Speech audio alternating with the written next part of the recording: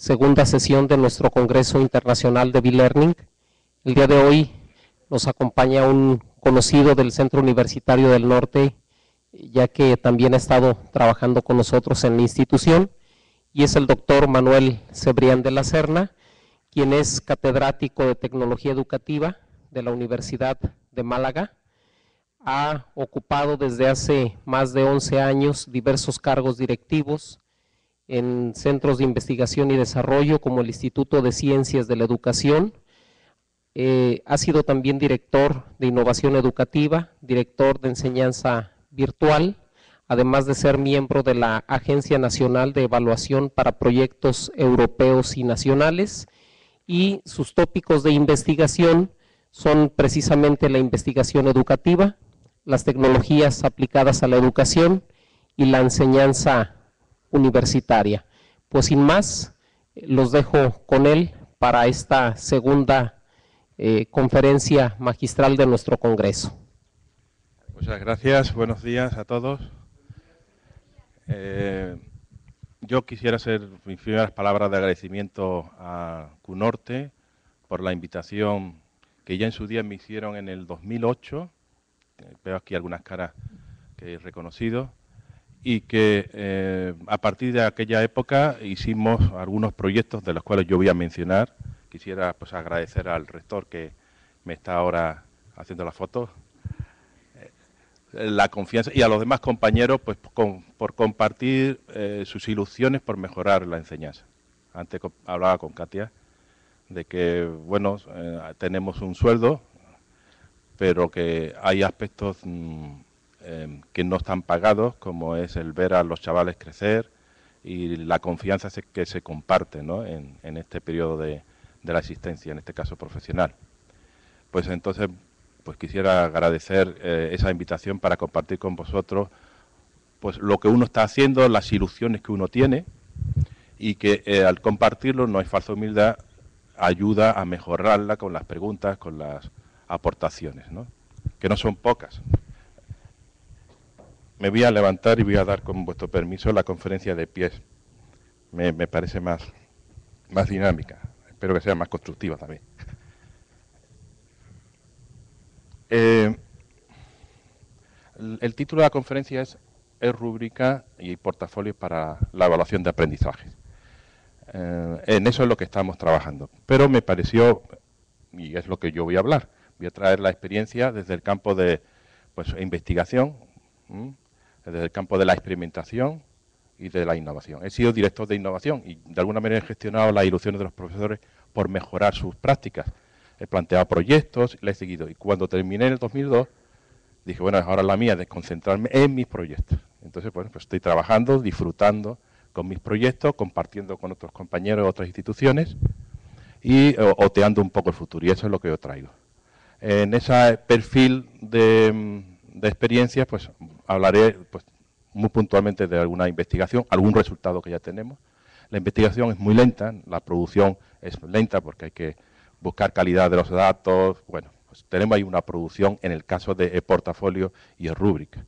También tenemos em, impresiones, sensaciones, como todos los docentes, de que esto va mejorando, ¿eh? pero no lo hemos podido demostrar científicamente. Luego tenemos, digamos, como avances de por dónde tienen que ir las cosas. Y después quisiera todo esto mezclarlo con un servicio y un proyecto con el cual ahora mismo estoy trabajando, que es el Sistema Nacional de Educación a Distancia, que tiene algún antecedente que yo quisiera mencionar, porque esto no nos hace de la mañana, ¿no? de la noche a la mañana. Y esa es en la conferencia. La conferencia mm, está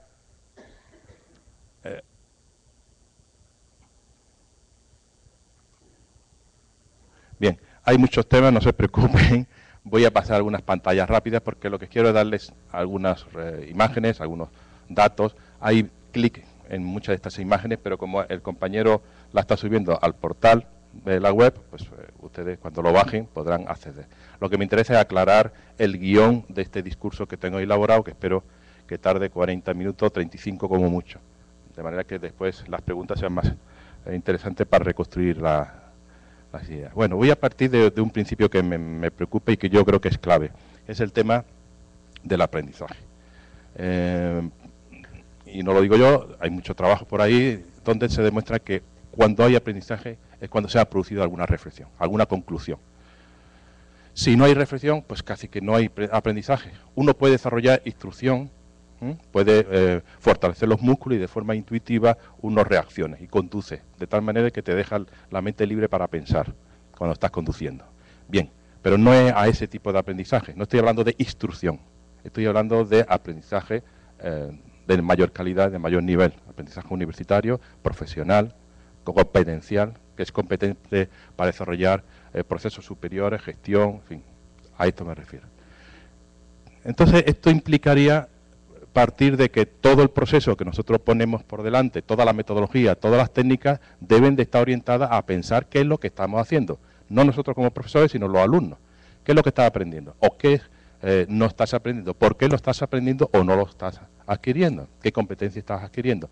Y conociéndote al lema clásico, pero todavía vivo, de aprende de ti mismo. Aprende a aprender, aprende eh, a, ser persona. Esto es, esta es la clave. Ahora, ¿cómo se hace eso? En el contexto actual, cada vez más digitalizado y más globalizado, esta es la cuestión. ¿Qué, andamiajes deberíamos eh, poner a prueba? Muchos de esos eh, andamiajes no son definitivos, no, no hay mm, em, cuestiones conclusas, definitivas, Em, eh, se mueve mucho el tapete, em, la tecnología avanza mucho y si estamos hablando de técnica o de tecnología, bueno, ¿cuál es la tecnología? ¿En qué momento? ¿Para qué grupo? Y este es el trabajo en el que yo eh, em, invierto más tiempo, otear un poco las tecnologías que están avanzando, o sea, qué innovaciones, realmente innovaciones, y qué aporte esas innovaciones al campo de la educación. Y por, su lado, otra línea de investigación es la innovación educativa. ¿Cuáles son realmente las necesidades educativas? ¿Cuáles son uh, los eh, escenarios innovadores? Y ahora, si ese escenario innovador necesita de tecnología, ¿qué tecnología me puede aportar eh, para favorecer ese escenario? Entonces es un juego a caballo entre esas dos líneas, como si fueran dos, dos mulas que tiran de un carro. La innovación tecnológica y la innovación pedagógica y en eso me muevo. Normalmente están separados. El tecnólogo crea el cacharro y tú tienes que darle allí como un martillo a ver qué es lo que sacas. Y yo creo que no, eso no funciona. No funciona porque incluso las prácticas sociales, las prácticas en las escuelas o las instituciones educativas em, van más rápido que incluso a veces los, los avances tecnológicos. Y evidentemente hay otros ritmos en el profesorado o en los alumnos ¿eh? se habla de alumnos digitales, bueno, entre comillas. Podríamos hablar cuáles son las competencias realmente que tienen los alumnos. La parte instruccional, la muscular que dije antes, son capaces de hablar a 10 personas a la vez, sí. Pero cuando van a hablar de algo en profundidad, con peso, con razonamiento, con argumentos, ya no pueden manejarse con 10 a la vez en un chat. Ya implica unas capacidades, un lenguaje, unos conceptos claros, saber hablar, saber expresar ideas, convencer, argumentar ahí te quiero ver. Entonces, bueno, ese es el, trabajo mío, eh, ver, bueno, cuáles son las innovaciones.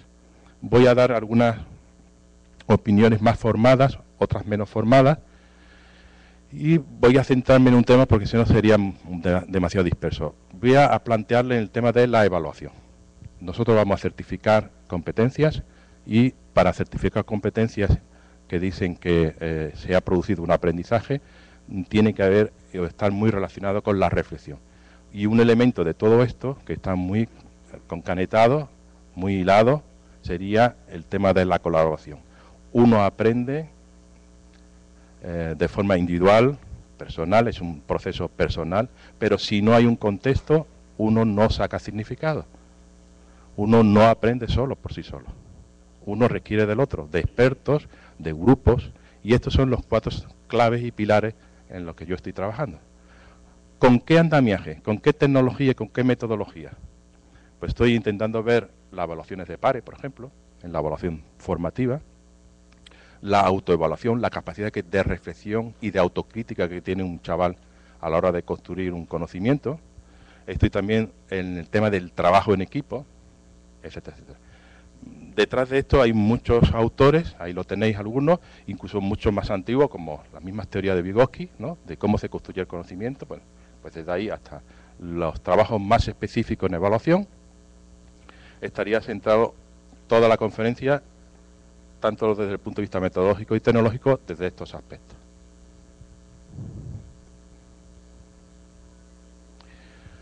La tecnología aporta muchas eh, ventajas en ese proceso de evaluación.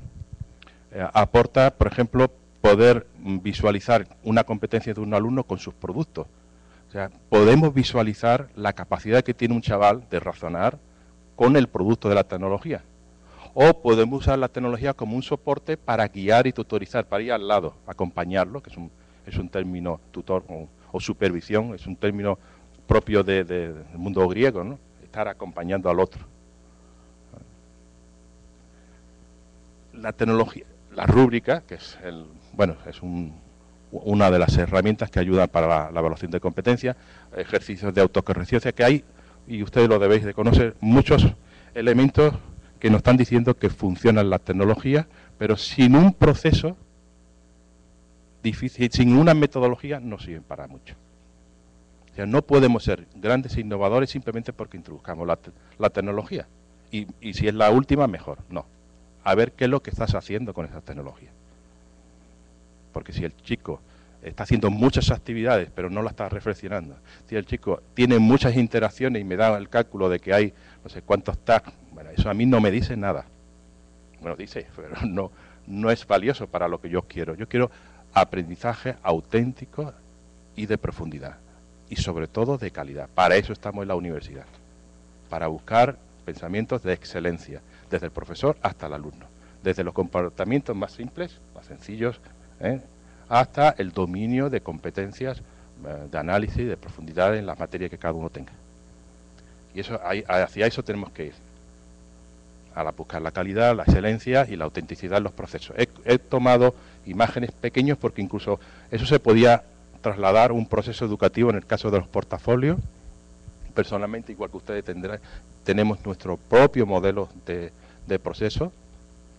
Lo voy a compartir, pero recoger evidencias, narrar, contar qué es lo que has hecho, dónde han sido los errores, contar tu proceso de aprendizaje, saber interactuar, saber reflexionar, publicar con tecnología. Esto es un poco los elementos básicos donde participa la tecnología en ese modelo, que aquí estaría más abstracto, más sintético, que yo lo resumiría en, dos, en tres aspectos. Reflexión, comunicación y colaboración. El ritmo, ya cada uno, depende de los proyectos, podrá pues, empezar negociando el proyecto y los objetivos, o si es un proyecto más orientado a investigación, a lo mejor no se investiga, se recogen datos, pero hay que, eh, al menos estos elementos, ¿no? Planificación, publicación de datos, eh, contrastación y rúbrica. Criterios de calidad de haber conseguido o alcanzado unos logros. Importancia de esos logros en función de un abanico de evidencias diversas, etcétera, etcétera. Como ven, voy rápido. Eh, esto, esta pantalla es más propia del taller. Y es, bueno, vamos a aterrizar, porque estamos en niveles muy abstractos. Básicamente, en términos más genéricos, yo siempre parto de la competencia que me dice la administración. Mis alumnos tienen que tener 10 competencias genéricas que son comunes para toda Europa, para todos los alumnos eh, de España en cualquier materia. Y ahora estamos evaluando, contrastando, por ejemplo, pues el trabajo en equipo, que es una competencia que tenemos que desarrollar.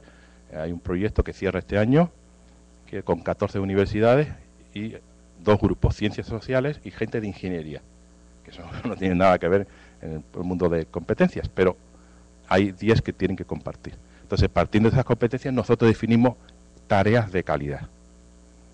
Actividades que favorezcan el resurgimiento de esas competencias, que pongan a prueba al individuo, que permitan reflexiones, que permitan eh, una claridad en cuanto a acciones, tanto individuales como de grupo. Y ahí entraría la tecnología. Competencias, tareas y un soporte metodológico y tecnológico, evidentemente. En este caso sería portafolios individuales y portafolios de grupos. Pero claro, el contexto nos va a determinar mucho porque un portafolio individual es imposible, casi inviable, con grupos grandes. A pesar de eso, nosotros hemos trabajado, porque en nuestro campo, la enseñanza y la innovación, hemos trabajado con grandes grupos hasta ver dónde llegaría el, proceso.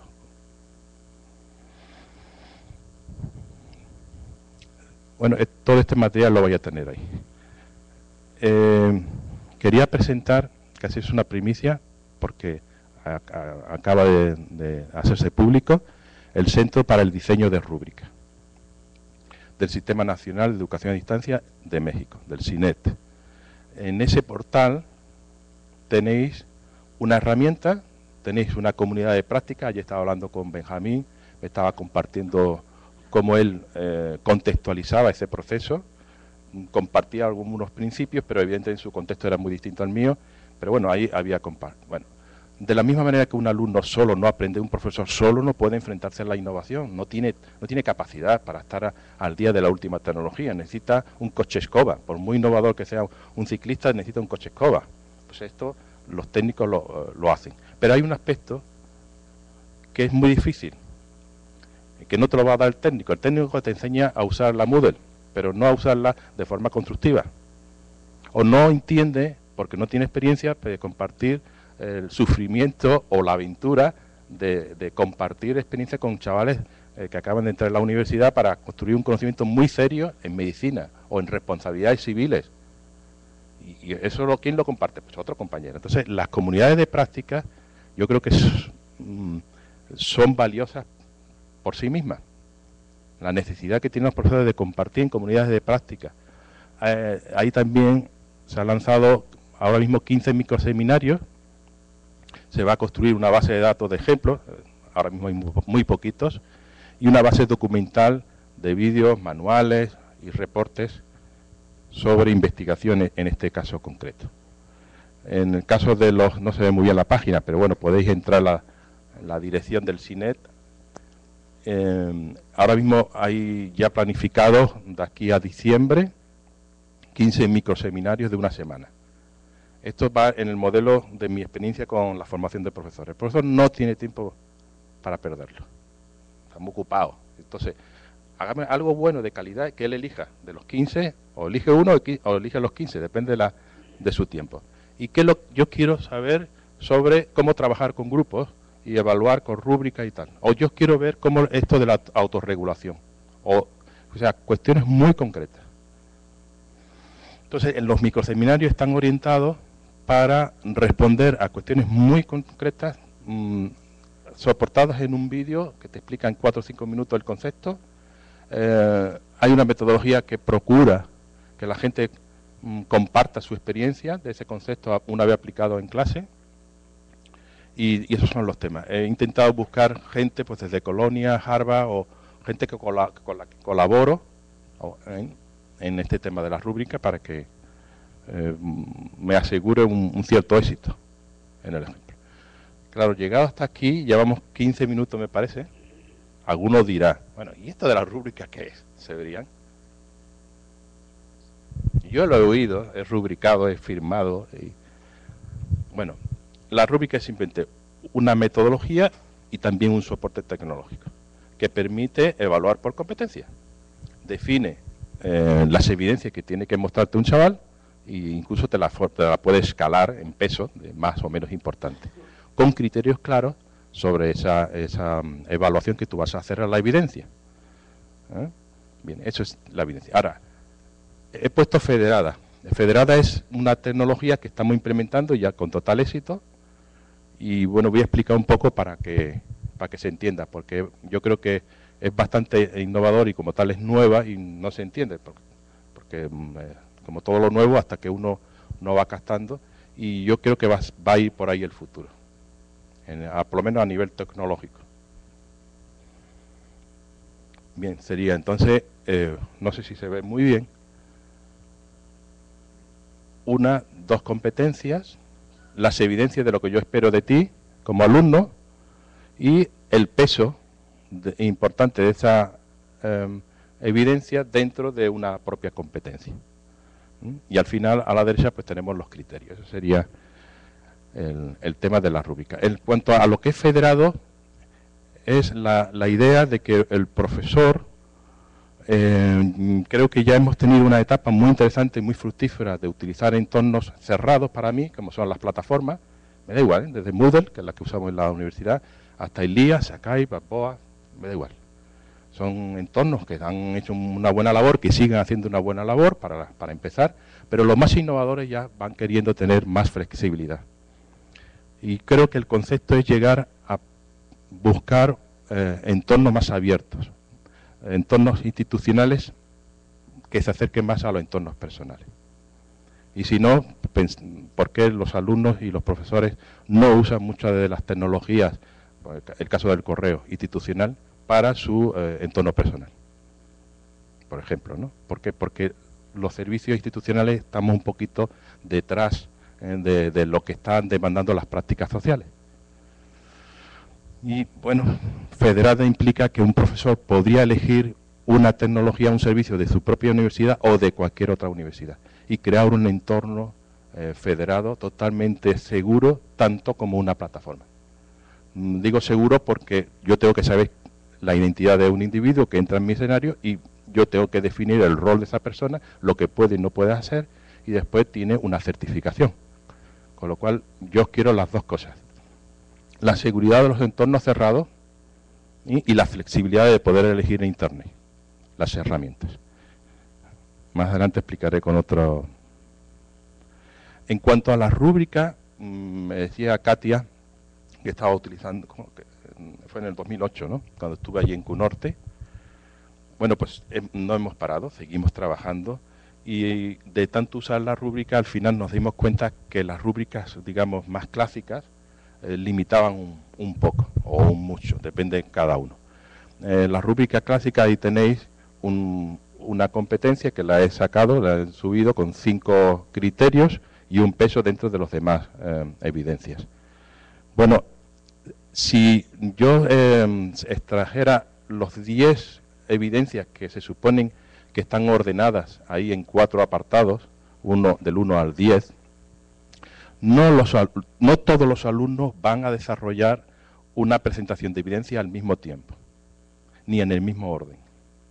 O sea, eh, si uno busca un cambio de mejora en, el servicio, en, el diseño de, rúbrica, cada alumno lleva su propio ritmo de aprendizaje y como tal presenta las evidencias con un nivel de calidad muy personal. Luego, si yo pongo una estructura más cerrada como es esta, me funciona, pero a lo mejor me doy cuenta que un alumno me da la evidencia 2 y la evidencia 8. ¿Dónde pongo la casilla? ¿Cómo, evalúo eso? Y, le falta el 5 y el 6. ¿Qué quiere decir? Que si yo adquiero el 8 ya tengo, he adquirido los anteriores. Por eso cuando empieza uno a trabajar con rúbrica, mm, al principio pone poco texto y al final lo que hace es una sumatoria. Sumatoria de evidencia. ¿Eso es así? ¿Así en el aprendizaje? O sea, cuando uno domina algo, es cuestión de más o de calidad.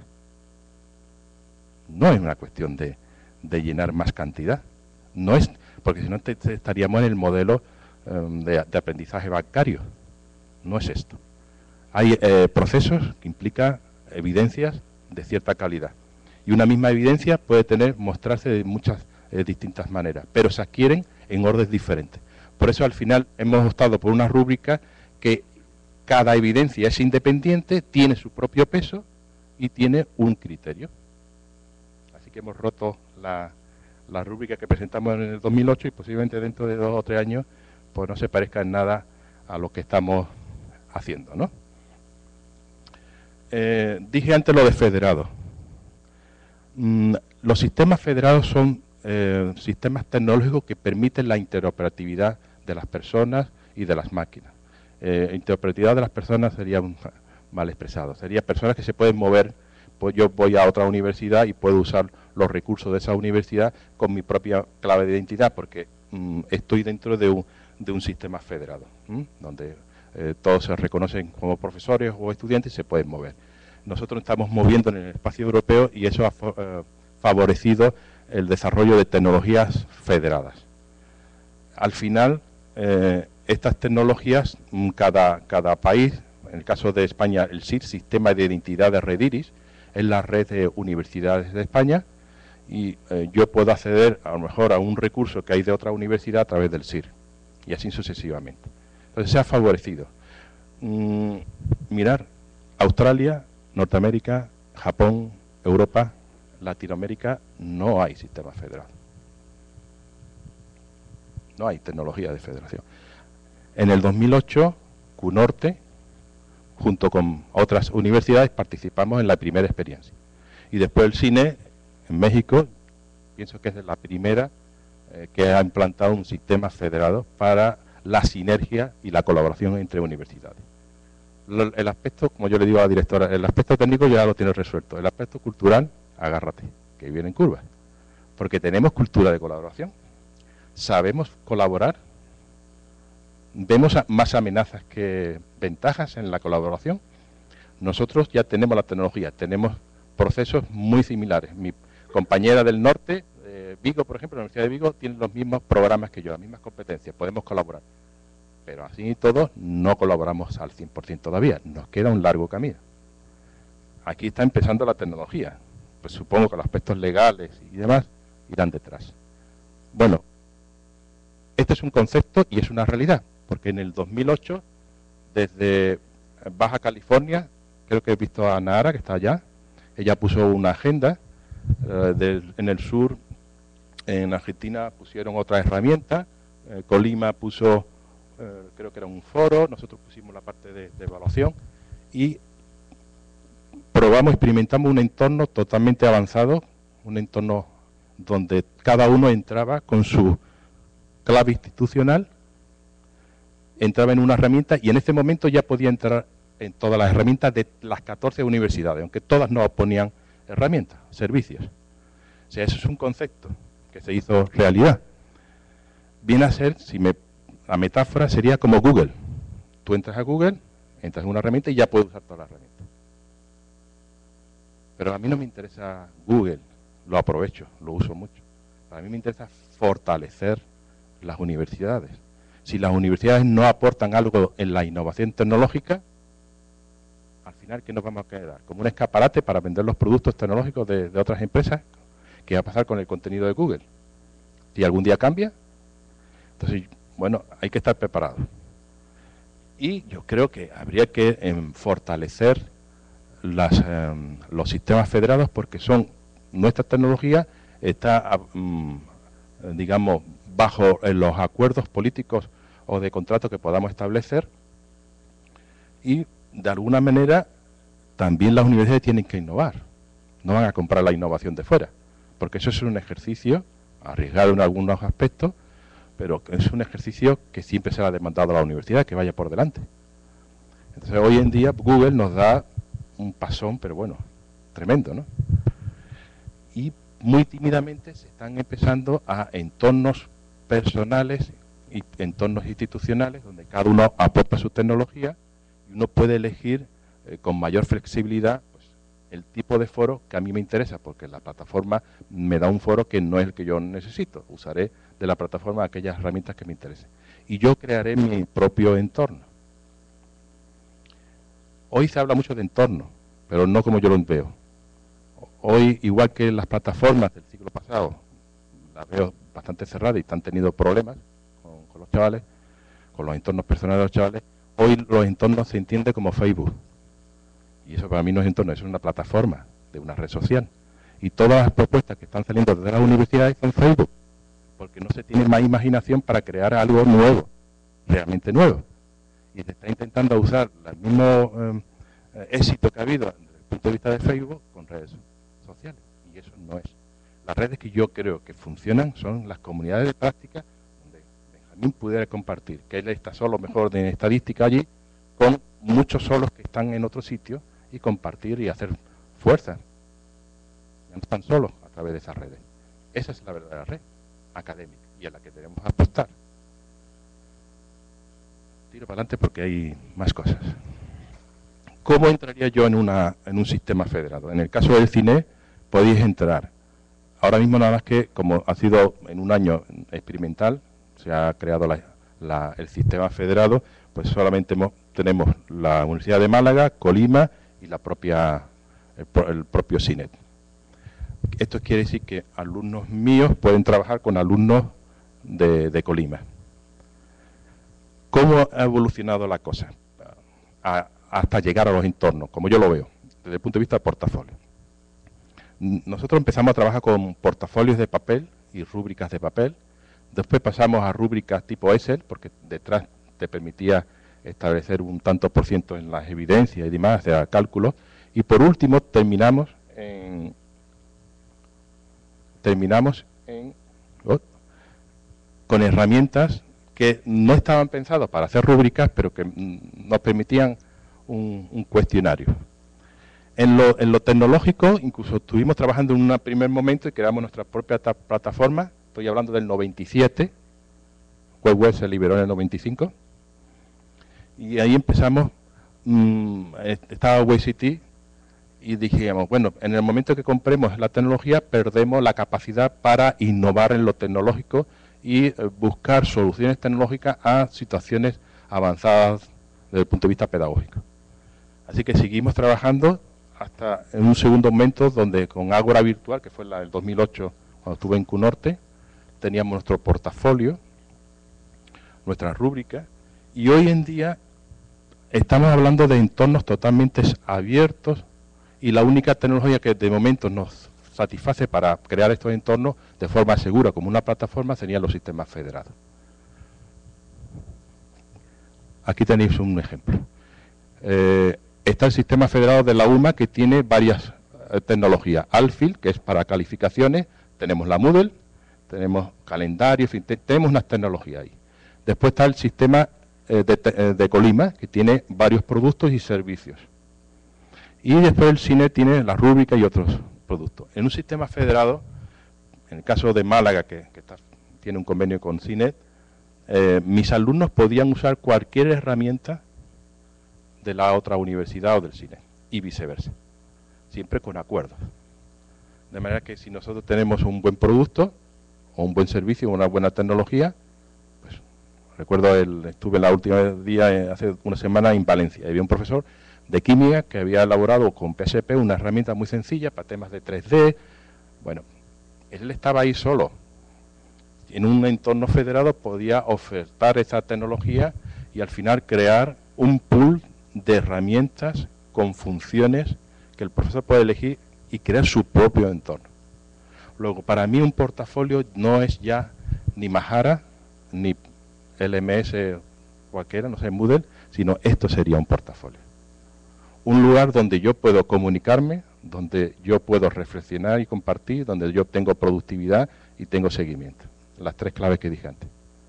Luego un portafolio ya no es una tecnología, es todo un sistema. Y este es el, entorno de portafolio que yo estoy trabajando, o que estamos en plural, porque somos bastante gente. Y dentro de ese portafolio, pues evidentemente está la rúbrica. Y estas son las razones. Mm, eh, si queremos un, un, en un contexto muy personal, no vale café para todos. Mi contexto me exige o me obliga a poner una infraestructura, un andamiaje muy específico para este lugar. Luego es muy difícil que la Moodle me, sirva, la Moodle, cualquier tecnología, me sirva para todo. Luego, la personalización es un elemento clave de la calidad de un proceso, igual que el aprendizaje. Luego, los entornos más personales exigen eh, mayor libertad de cualquier tecnología. Evidentemente las tecnologías evolucionan, pero no al ritmo que evolucionan los sistemas en Internet. Internet es mucho más potente en recursos, en contenidos, en tecnología. Eh, me interesa también el tema de la colaboración institucional. Podemos tener todos ustedes, en, creo que hay varias universidades distintas, seguramente pueden tener hasta la misma Moodle, pero ¿cómo podríamos colaborar si yo tengo que darte ahora cada año los miles de alumnos míos para darlo de alta en tu, en tu base de datos? Eso es ya, eso es imposible. Eso impide la colaboración. Luego, estas son las razones, para no cansaros, por cual nosotros hemos apostado por tecnologías federadas. De manera que lo que nos interesa es que Internet sea la verdadera plataforma y no al revés, no que la plataforma sea Internet, todo se haga a través de, las posibilidades que te da la, plataforma. Un sistema federado sería aquel que ofrece confianza para los usuarios en cuanto a que dice quién es, quién dice qué es en los servicios. Por ejemplo, eh, Colima tiene varios servicios, uno se identifica y no tiene que estar dado de alta eh, en todas las bases de datos de los servicios, sino basta que entre en un servicio para que ya pueda acceder a los demás. Eso es un sistema federal. Una vez que te identifica un servicio, pues ya todos los demás servicios de la propia universidad hacia adentro de la universidad, pues tendrían ese acceso. Pero ¿qué pasa si llevamos ese sistema, ese concepto a un modelo más amplio? ¿Qué pasa si eh, en Colima hay un profesor de estadística que tiene una herramienta o que tiene una, una rúbrica que tú, tú puedes compartir? ¿Para qué la vas a fabricar? Bájala y adáptala. Cámbiale las dos evidencias y adáptala. Luego, la tendencia hacia el futuro es la globalización, la colaboración. Esos son los tres elementos que dije, ¿acordáis? Reflexión, calidad, em, em, colaboración. Pues Colima y Málaga, por el hecho de estar bajo un mismo paraguas, podemos compartir los, mismos recursos siempre y cuando estemos de acuerdo. tener posibilidad de compartir y colaborar no quiere decir que estemos obligados. ¿eh? Y que eh, cuando un compañero de Colima entra en, en una herramienta nuestra, pues entrará en función del rol que se le ha permitido a los profesores. Pues crear su propia rúbrica, en fin, em, importar alumnos de su propia universidad, etcétera, etcétera, pero no de las otras universidades, o el rol que tenga en su propia universidad.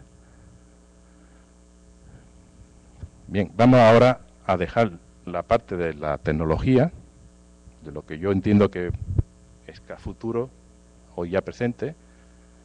En todas las innovaciones uno tiene que andar casi por caminos intransitados y entonces hay cierta eh, incertidumbre, hay em, obstáculos que uno no entiende, conceptos nuevos, y bueno, lo que estoy exponiendo no es una obra personal mía, sino de un grupo de profesores que está en la avanzadilla. Y evidentemente esto pues eh, cuesta comprenderlo, ¿no? Voy a ir ahora al aspecto más pedagógico que posiblemente se identifiquen más, porque igual sois más académicos que técnicos. Nosotros hemos estado trabajando desde bastantes años en distintos grupos, grupos eh, numerosos, y a pesar de que eran numerosos, hemos trabajado con portafolio y con rúbrica. Pero hemos visto hasta dónde realmente se puede hacer un portafolio. Entonces, en grupos grandes trabajamos con portafolios de grupos y hay e, evaluación de pares. Pero una evaluación de pares no para que valga para la nota, sino para que me ayude, porque yo no puedo evaluar tantos procesos individuales o de grupos, sino para que ellos fortalezcan la reflexión y sepan interiorizar los criterios que yo tengo y que yo sigo mejorándolo en el momento en que evalúo. En el momento que yo aplico criterios, estoy aprendiendo. Un profesor aprende simplemente dando clases, porque tiene que estar constantemente pensando sobre el proceso. Pues un alumno que es un profesional, si no aplica los criterios de calidad en el punto, em, digamos, eh, de eh, formación inicial, sino que lo va a aplicar después, pues estamos perdiendo un tiempo esa eh, persona profesionalmente cuando salga tendrá que aplicar los criterios en el mundo profesional. Tendrá que decir cuando un compañero o un producto es de calidad. Pues hagamos ese ejercicio ya en clase. Si ese es el aprendizaje, que el, chaval interiorice qué es lo que nosotros entendemos por algo que está bien hecho, que es de calidad. Entonces, lo hemos ido trabajando, evidentemente con, grupos de, mm, de 50 para abajo, pues trabajamos en aprendizaje basado en proyectos y en grandes grupos, pues eh, la metodología no es aprendizaje basado en proyectos. Pero sí hay proyectos, evidentemente, con unas delimitaciones. Por ejemplo, aquí tenéis la supervisión del práctico. El práctico como modelo pedagógico ha ido evolucionando. El práctico son las prácticas en empresa. Un profesor eh, tutoriza entre uno y seis alumnos, no más. Estos alumnos están en la empresa. En mi caso son alumnos que están seis meses intentando ser profesores en la práctica y esos alumnos están interactuando con otro alumno de segundo o de primero. De manera que yo establezco una relación muy, muy fuerte entre la teoría y la práctica. Un alumno cuando está aprendiendo a diseñar unidades didácticas en el segundo, por ejemplo, o elaborando materiales o instrumentos para evaluar, está un contexto diciéndole para, para qué ese ejercicio. Luego yo establezco proyectos de colaboración entre mi alumno de segundo con los alumnos de tercero o cuarto Pero voy más allá. Si ese alumno se va a mover, porque en nuestra comunidad se mueven los, eh, profesores, pues ¿por qué no colabora con otros iguales de mm, alumnos en práctica de otros centros? Y vamos aprendiendo a aprender en redes, a ser profesionales en, la formación inicial y para que en el futuro sigamos con ese instrumento interiorizado de seguir aprendiendo con otros compañeros en la red. Ese es el objetivo. Bien, pues si yo tengo que colaborar con mis seis alumnos en la base de datos de la Moodle, difícilmente van a poder compartir recursos si, aunque tengan los otros de Vigo, Granada, Huelva, tengan la misma Moodle, porque no están dentro de un sistema federado. Luego, esto fue una de las razones que cuando nosotros íbamos innovando en, el modelo pedagógico, nos íbamos viendo que no había tecnología que diera respuesta a eso.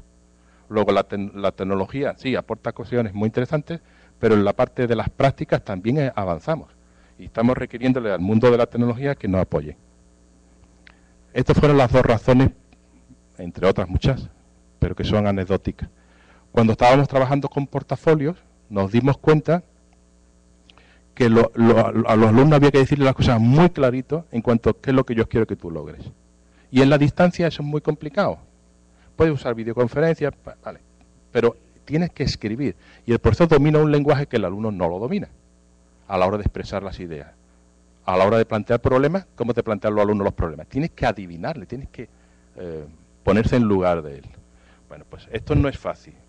Entonces dijimos que hacía falta para un portafolio muy claro un instrumento o una tecnología o una, o una técnica que diga exactamente qué es lo que me tienes que dar, qué es lo que tienes que presentar y cómo te lo voy a evaluar. Y en segundo lugar, nos pasó que en el 2005 eh, las matrículas de honor son limitadas, cada 100 alumnos creo que había como cuatro matrículas, y aquel año dimos cinco matrículas. Entonces tuvimos que reunirnos, era un, modelo como el que he enseñado antes de, de prácticas, donde todos hacíamos las mismas tareas, evaluábamos con los mismos criterios, el mismo programa. Vale, pues cada profesor había evaluado en función de una aplicación de criterio bien diferente. Ningún profesor había evaluado igual. Uno le daba más importancia a una cosa, otro le daba más importancia a otra. O sea que estábamos evaluando cada uno como Dios nos daba a entender. Y claro, eso dijimos, no, no, esto no puede ser. Así que desde el 2005 empezamos por estas dos razones importantes a usar la rúbrica, a buscar los mismos criterios y las mismas evidencias.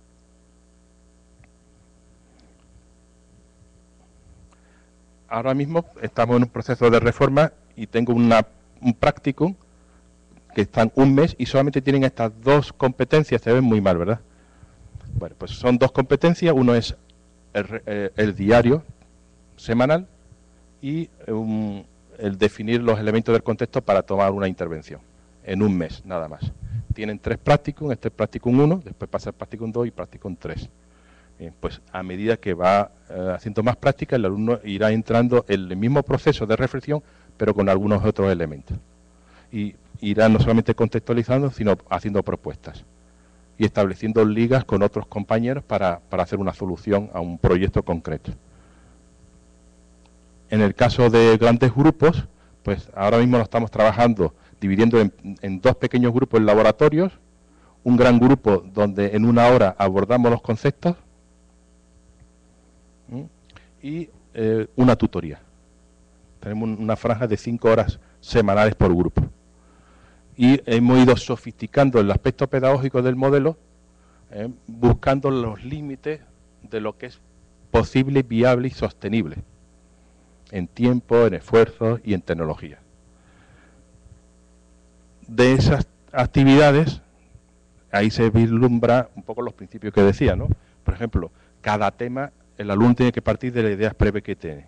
Y hay una herramienta muy sencillita, que es el mapa semántico, pum, y se, desarrolla. Y después, al final, tiene que hacer un diario de cinco preguntitas sobre qué es lo que ha aprendido, por qué lo ha aprendido, y con quién lo ha aprendido, y gracias a qué lo ha aprendido, y qué no ha aprendido. De que empiece a inculcarle ese proceso de reflexión.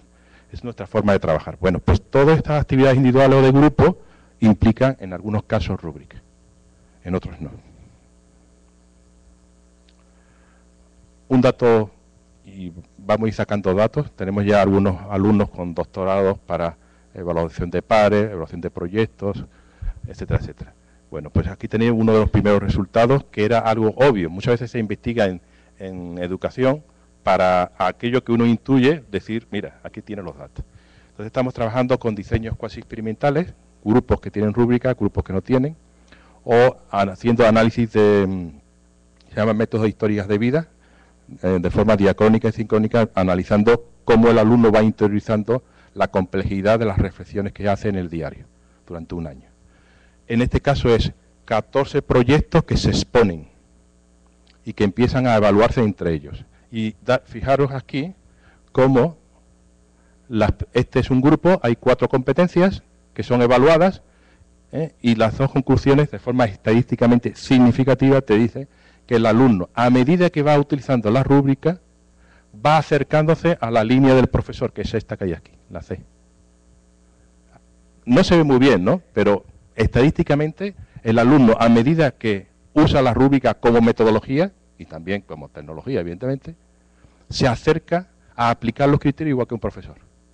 Eso quiere decir que la rúbrica de alguna manera favorece la interiorización de criterios.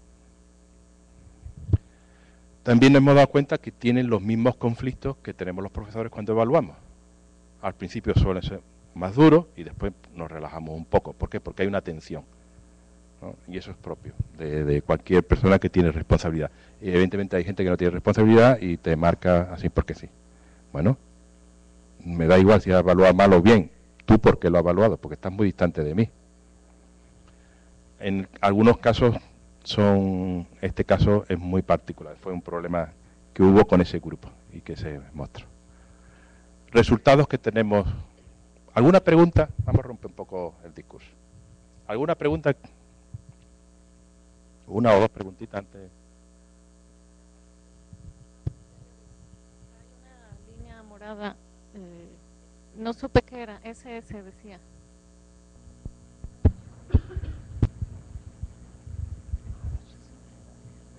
No. ¿Cuál es el ponente? Semana Santa.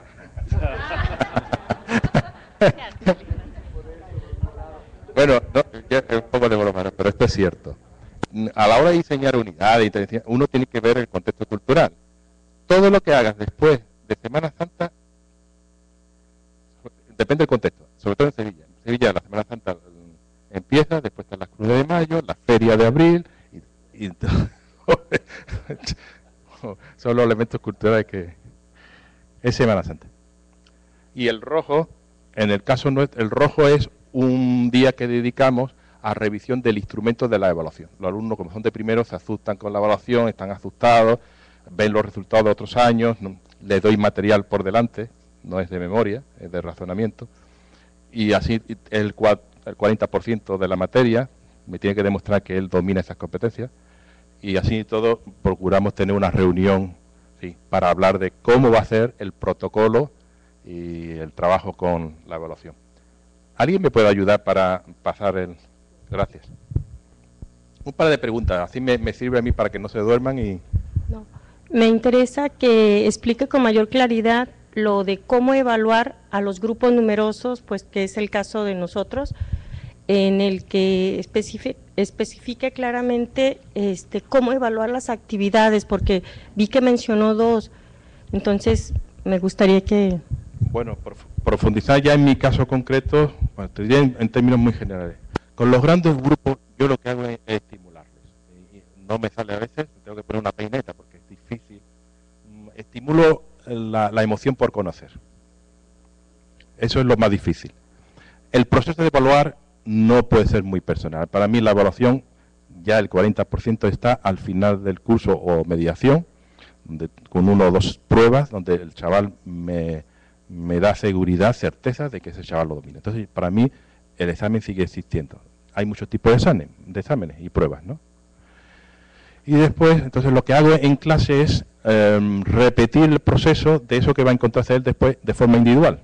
Y con el grupo que se refuercen. Y con las evaluaciones de pares que refuercen el proceso de aplicar criterio al otro compañero de algo que después yo le voy a aplicar a él.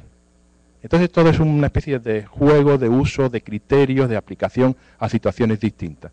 Si yo le pongo en el laboratorio una actividad de grupo y se evalúan, en clase yo no la evalúo, yo expongo una tarea y yo la evalúo directamente yo, no, no al, alumno. Pero en el laboratorio, como son menos, sí se evalúa entre ellos. Y yo evalúo la, digamos, la solución del problema, de cómo qué, cuál es lo que está bien y, aplico los criterios y tengo un debate con ellos de por qué yo he aplicado el criterio así o, de otra manera. Pero la evaluación individual con grandes grupos la hago cuando va al examen o cuando hace las exposiciones, que también un, un apartado importante, donde yo evalúo la exposición.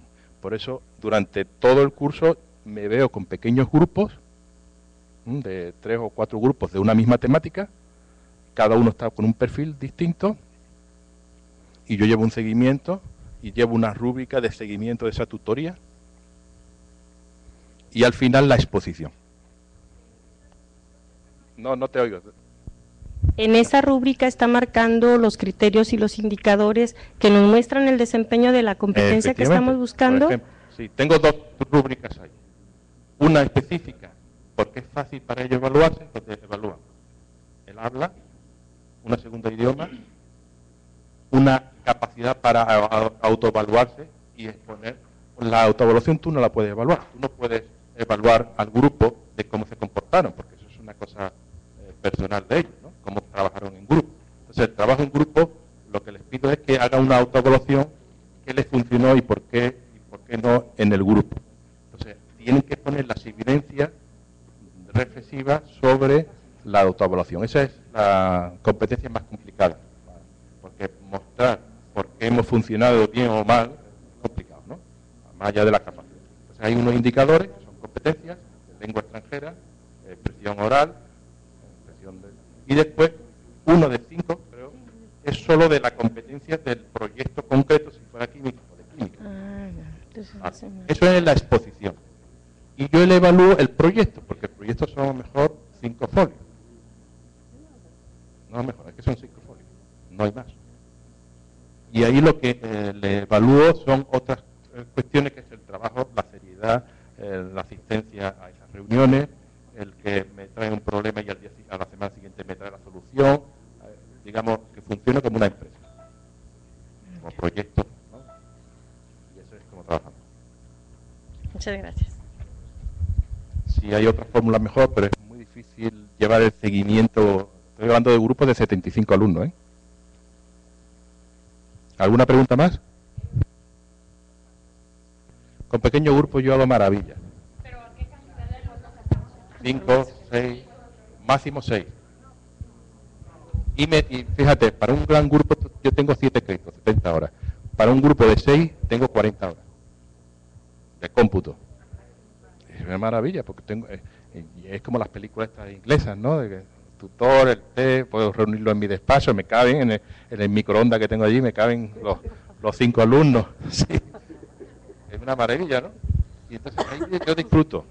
Eh, eh, em, entramos en terrenos diferentes del, ¿no? De, no lo personal, sino cómo, cómo enfoco personalmente el trabajo, el por qué he entrado yo aquí, mi salida, eh, ya es otra, no tiene nada que ver, es una tutoría muy personal donde intento conocerlos a ellos, cuáles son sus fortalezas para reorientarlos, chicos, pues aquí hay una especialidad, esta es la tuya, no tengas dudas, no tiene nada que ver. No es aprendizaje de contenido solo, ¿no? Eh, o ayudarles a que ellos se conozcan a sí mismos, que es el lema fácil, ¿no? ¿Alguna pregunta? Y, y cerramos el ciclo.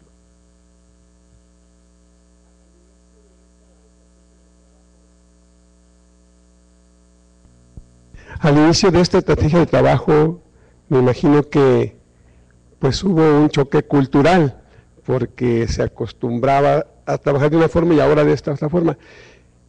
¿Qué experiencias o qué conflictos te enfrentaste de manera más común?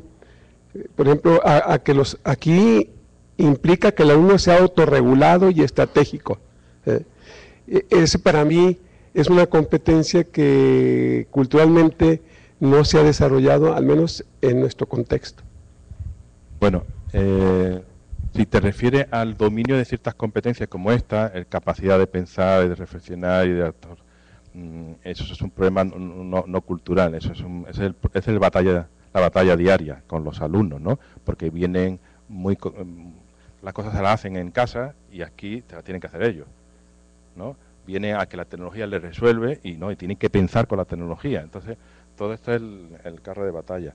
Yo pensé que ibas a hablar de los compañeros, del, del colegiado, que es donde he tenido más problemas. Los alumnos, cuando tú implementas este tipo de actividades, les cuesta trabajo adaptarse. Están impuestos a que la agenda se los dicta la institución. Eh, sí, pues podríamos hacer un rosario de cosas que no son eh, representativos de todos, pero sí están acostumbrados a pegar en la mesa y que el profesor le explique personalmente la tarea, ¿no? Vale, entonces yo normalmente tengo un documento que dice lo primero que tienes que leer, son tres folios, que son las reglas del juego y viene la rúbrica. Y trabajo al principio del curso una rúbrica para que vayan entrando. Vale, no se lo leen, pasa el mail y no se lo leen. ¿cómo lo haces? Pues eh, ya te digo, una peineta me tengo que poner. A veces me pongo irónico o cínico porque si no es imposible. ¿Cómo vas a tú gestionar ilusiones de niños de 10 años, 8 años, si tú no, no tienes autonomía? ¿no? Entonces es complicado. Esa es nuestra batalla. Y, pensar que ellos tienen que hacerlo, que tienen que gestionarse, que... Bueno, ahí está escrito, léelo. Entonces soy duro en, por ejemplo, cuando me hace una pregunta en el foro, como está eh, contestada, no la respondo. Haber leído arriba. O si me las plantea ahí, ¿te has leído eso? Sí, pues no te contesto. Así de borde pero bueno, con, gracia, pues si no, no... Hasta que poco, poco van entrando. Los de primero, no tienen nada que ver con cuarto. También trabajo con gente en cuarto y eso es otra cosa. ¿Cuál ¿Cuándo me preocupa? Cuando el chaval entra en primero y termina cuarto y sigue igual. Ahí sí que me preocupa. O cuando matriculas una silla y termina la carrera. ¿Qué me ha pasado? Con gente con problemas, que no podría pero como están trabajando en grupo y no hay una evaluación auténtica, ese chaval termina la carrera. Y me lo encuentro en las prácticas. Y en las prácticas, pues cuando le dices la evidencia, dice, sí, he puesto el termómetro debajo del abrigo del alumno. Esto no, esto no tiene lógica. Entonces, ¿qué, eh, tipo de individuos y ciudadanos profesionales estamos sacando? Entonces, no me importa que al principio tengan estos Creo que había una pregunta y, cerramos este ciclo. Gracias. ¿Cuánto tiempo llevan ustedes aplicando la metodología por competencias y la evaluación por rúbricas? ¿Y a partir de qué momento ustedes empiezan a ver resultados? creo que venía ahí una gráfica, en el 2005 es cuando empezamos y teníamos nuestro portafolio. En 2008 presentamos una rúbrica cuadrada, ¿te acuerdas, Katia? Y em, desde el 2005, por las razones que dije antes en la presentación. Empezamos a tener resultados, por ejemplo, eh, comparé, comparé cinco años de portafolio individual de los diarios, el tipo de reflexiones, los resultados que daban con el modelo de supervisión y sacamos tres modelos de supervisión. ¿Y qué es lo que quería demostrar? Que con tecnología, si hay un modelo de seguimiento de verdad, un alumno tiene mejores resultados que otro modelo que era el clásico, el tradicional, del alumno iba a la universidad cada 15 días y tenía una entrevista con el profesor. Entonces em, tenemos resultados sobre el impacto de los portafolios, pero sobre todo de la metodología y del, y del modelo de diálogo que es el que he mostrado antes. Y actualmente estamos viendo resultados eh, a nivel de la rúbrica lo he dicho ahí, para los proyectos, para el trabajo, para mm, para incluso te lo podía mostrar ya, para el, rúbricas de tareas, estamos haciendo tareas durante el curso, cuatro o cinco tareas, con dos grupos, uno de control y uno experimental, y lo estamos haciendo en cinco universidades con el mismo programa, con la misma materia, el mismo nivel de alumnos, el mismo grupo, entonces se ve que en la primera actividad pues no se acercan al profesor, suspenden, aprueban algo y poco a poco van interiorizando. Solamente en un curso, se ve claramente, incluso en la gráfica, porque una de las funciones de la, de la rúbrica para el profesor es que te dé datos rápidos, visuales, de cómo va un alumno en una competencia. O una competencia todos los alumnos. O un alumno todas sus competencias. Entonces en la gráfica se ve en la actividad 1 cómo se acercan, cómo se alejan, cómo, ¿eh? después se puede exportar. O sea que hemos ido teniendo resultados matemáticos o estadísticamente demostrados y a la vez hemos ido visualizando intuitivamente cosas que le hemos ido eh, pidiendo a la, herramienta y la hemos eh, ido cambiando ¿no? con estas funciones. Pero desde el 2005. Mirad, por ejemplo, en la rúbrica, que es la misma que tenemos allí del cine, eh, lo que vemos es que un alumno inmediatamente ve en una rúbrica qué, mm, evidencia le va mejor y cuál le va peor. Pero a mí como profesor me permite visualizar una rúbrica o de, todas las evidencias, cuáles son las evidencias que más les cuesta a los alumnos alcanzar y cuándo lo alcanza la mayoría. Con lo cual me permite información para em, distribuir, agrupar, y, esto me ha obligado a, a, crear una herramienta que permita el agrupamiento y la personalización y poder evaluar a un grupo por una tarea y después individualmente al alumno. En fin, que hemos ido encontrando resultados y necesidades y hemos ido cambiando la tecnología para adaptarla a nosotros. Eh, por ejemplo, eh, poder evaluar entre pares, ¿eh?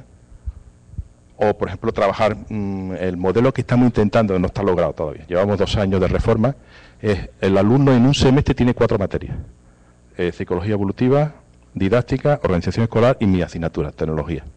Vale, pues le estoy pidiendo a los compañeros un solo proyecto y yo evalúo solamente una parte. La de psicología evolutiva otra, otra. Entonces el alumno solamente presenta un proyecto en profundidad. Bien, pues la rúbrica lo hemos hecho de manera que cada profesor puede entrar en aquella dimensión de su competencia para evaluar. Con lo cual, una rúbrica holística de todo un proceso complejo como un proyecto de un semestre, podemos eh, participar varios profesores. ¿Mm? son funciones de la propia rúbrica. Eh, por ejemplo, ponerle peso. Una cosa no sé si os ha pasado. Yo eh, tengo varias competencias y ahora hay una que es comportamiento en un entorno virtual. Evidencias. Se valoran los momentos en que una compañera o compañero apoya o responde a otro, a otro alumno cuando hace una pregunta del programa o de la materia. Esa evidencia para mí es muy valiosa y esa evidencia más otras evidencias de comportamiento profesional, de respeto, a la tolerancia, a la, toda una serie de cuestiones, solamente pesa 10% de la rúbrica. ¿Qué hacen los alumnos? Ah, como hay un 10%, voy al meollo, a sacar la materia. Pues no. Aunque es el 10%, hemos creado un sistema de manera que tú tienes que aprobar todas las evidencias, al menos con un 5, de 1 a 10. Si no apruebas esa evidencia, no apruebas toda la rúbrica. Entonces hemos ido elaborando una rúbrica muy sofisticada para todas estas situaciones. Pero concluiría con esto. La rúbrica ayuda a los profesores y a los alumnos, pero no eh, por aplicarla vas a cambiar o mejorar tu enseñanza. Es una obviedad, pero lo tengo que decir. Para algunos alumnos y para algunos estudiantes resulta muy difícil el tránsito. Pero, mm, ¿para qué os voy a decir? Por eso hemos trabajado con el, con el Sistema Nacional para crear una rúbrica que sea fácil el profesor, que sea visualizable, que permita todos los elementos de la evaluación formativa, porque no, no es fácil evaluar por competencias, porque tienes que pensar en el aprendizaje, y yo soy químico, no en cómo se construye la, la química, esto es más complicado, esto es didáctica, entonces tengo, necesito compartirlo con otros compañeros el definir una evidencia y yo adelantártela es muy complicado para un profesor. Un profesor es más fácil decir, tienes que resolver este problema. Y ahora, ¿cómo lo resuelven? ¿Con qué ritmo? ¿Con, qué soluciones? Pues, pues, bueno, después evalúo y, y de forma iluminativa le pongo más nota o menos nota a unos o a otros. Eso es más cómodo para mí. Pero cuando yo como profesor me presento a una plaza para, para subir en lo profesional, a que me gustaría que me dijeran exactamente el peso de cada una de las cosas que yo voy a hacer. Que me dieran criterios muy claros y muy concretos. Mm. Los contextos determinan mucho el trabajar con portafolio casi casi es una anécdota trabajar con portafolio en grandes grupos. pero sí me viene muy bien para la evaluación de pares porque es muy sencillo para ellos evaluar con criterios que están escritos. Y cuando yo discuto con ellos la claridad de esos criterios porque lo están aplicando, entonces le estoy dando una clase sobre los estándares de calidad de la asignatura. Luego, para mí metodológicamente es muy valioso. Aunque yo no pueda evaluar individualmente a los alumnos, pero cuando se evalúa entre ellos, ¿eh? están haciendo un ejercicio de profesionalización. Tres elementos, podría decir, de resumen. Eh, no todo se puede evaluar y es recomendable por la rúbrica. La rúbrica es una fuente más, incluso para mí la uso no como un instrumento de evaluación, sino como una metodología para fortalecer la reflexión sobre los aprendizajes. Evidentemente en grandes grupos me ayuda a que ellos mm, interioricen esos aprendizajes, ¿no? pero es una metodología. Eh, de lo contrario se convertiría en la Carta de los Reyes. Imaginaros todas las competencias de un curso o de una carrera, una barbaridad, ¿no? Yo lo veo complicado. El mayor eh, valor, la comunicación, la capacidad para que el alumno entienda cuál es el valor de un aprendizaje auténtico, cuáles son los elementos claves de cuando yo he adquirido una competencia, en mí o en otros. Y por la misma razón, eh, es casi imprescindible, si yo voy a hacer un portafolio con una plataforma, es insuficiente si no tengo muy clarito, y la rúbrica te puede ayudar en esto, a definir exactamente qué es lo que quiero que me recojas. Y qué quiero que me muestre y qué peso tiene cada una de las cosas. Y el criterio. Así que estas serían las tres lecciones. Evidentemente tenemos más resultados de investigaciones que las puedes ver en errubrica.org. Y nada más, muchas gracias a, todos por vuestra atención.